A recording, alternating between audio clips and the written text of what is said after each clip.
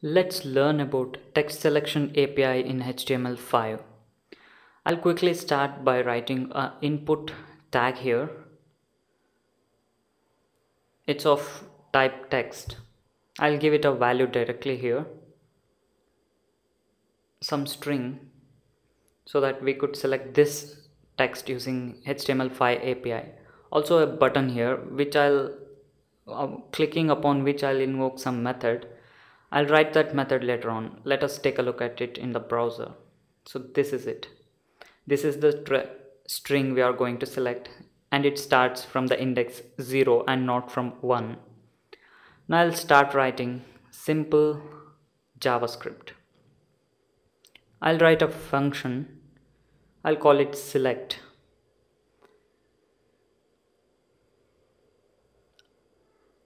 I'll give this input box an ID because we need to reference to this input field so that we could select the text present inside this input box.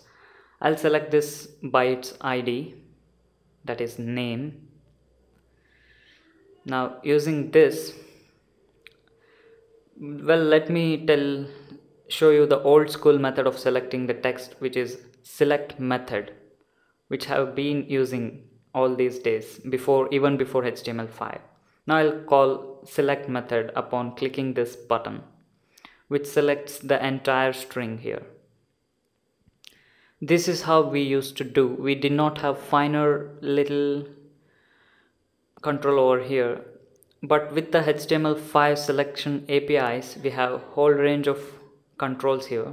We can select start we can specify the start of selection. That is in this case I'll give 3 it will just point the cursor to the third position 0 1 2 3 maybe here once we click the select button. Yeah it's coming the cursor.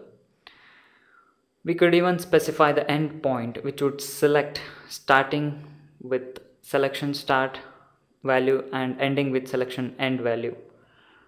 3 and 10 let's have a look. Okay it selects here.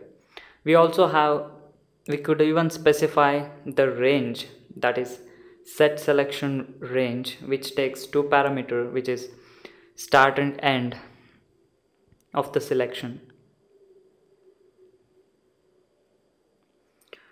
I'll give 3 and 12 maybe some random numbers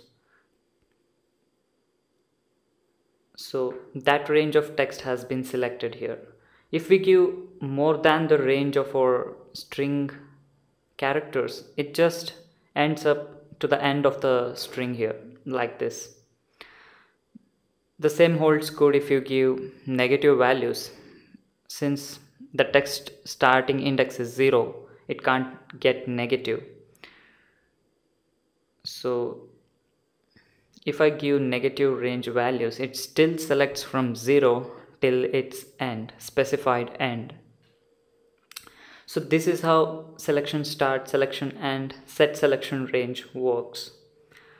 Selection start is a html5 property that sets or gets the selection start point. Selection end it is a html5 property that sets or gets the selection end point.